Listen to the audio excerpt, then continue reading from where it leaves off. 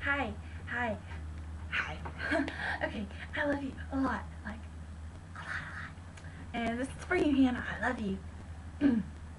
I will stand by you. I will help you through when you've done all you can do and you can't cope. I will dry your. Bye.